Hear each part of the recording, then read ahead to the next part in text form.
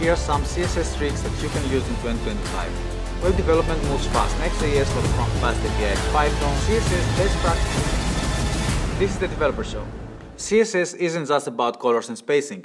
It's full of little tricks that make a big difference. Here are some CSS tricks that you can use in 2025.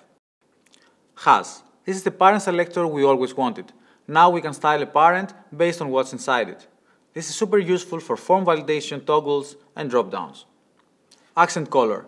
We can now style native checkboxes, radio buttons, and range inputs without writing custom components. Scroll behavior. One line of CSS and we get smooth scrolling for anchor links, modals, and back to top buttons. Layer. Layer enables you to organize your CSS like you organize your code. It helps you avoid tight collisions and manage large code bases better. Text wrap balance. New and magical. This one automatically balances multi-line headings, so you get no more awkward line breaks when you don't expect them.